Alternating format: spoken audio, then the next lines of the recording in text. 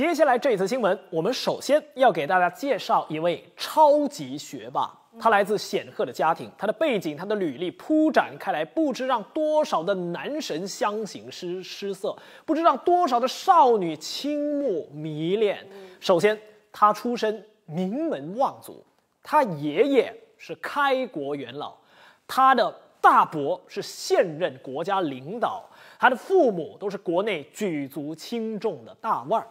再来，他聪慧过人。他是新加坡有史以来最优秀的牛津大学毕业生。他在牛津的哲学、政治、经济系以全系第一名本科毕业，后来攻读硕士、博士，也是成绩耀眼夺目，名列前茅。然后他还在斯坦呃斯坦福大学跟随2012年诺贝尔经济学奖得主钻研学问。那听了那么多，可能你会以为说这样的人应该是一个书呆子吧？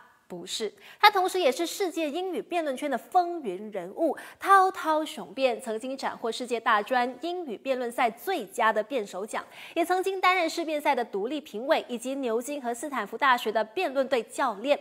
这位大家口中能够念书又懂得讲的男神，就是新加坡国父李光耀的孙子，现任新加坡总理的侄子，李家的二公子李显阳的长子李成武。那如果没有意外的话呢，他将会在明年任职牛津大学的助理教授。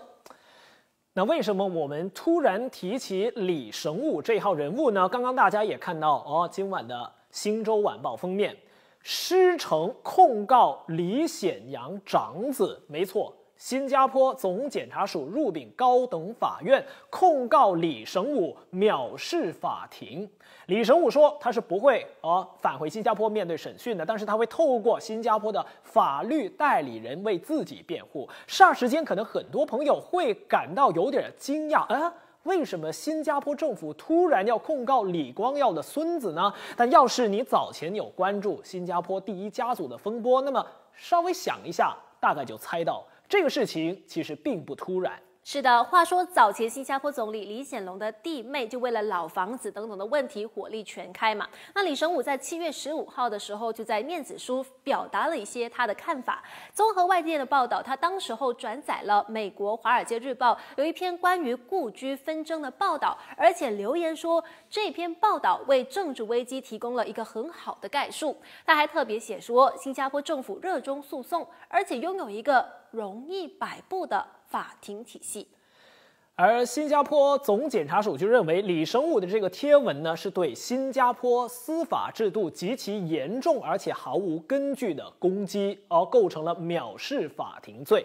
他们认为李神武的意思，写那段话的意思，就是说新加坡的司法不独立。法官、法庭全部任由政府来摆布。那你作为李光耀的孙子，你讲出这样的话是很容易煽动群众的。所以他们要求李神武必须公开道歉，要签那个道歉信、保证书，保证下不为例。同时要把这个道歉跟保证书贴在社交媒体啊，公告天下让大家看。李神武就认为自己没有错，他不依，于是总检察署只好选择把他告上法庭。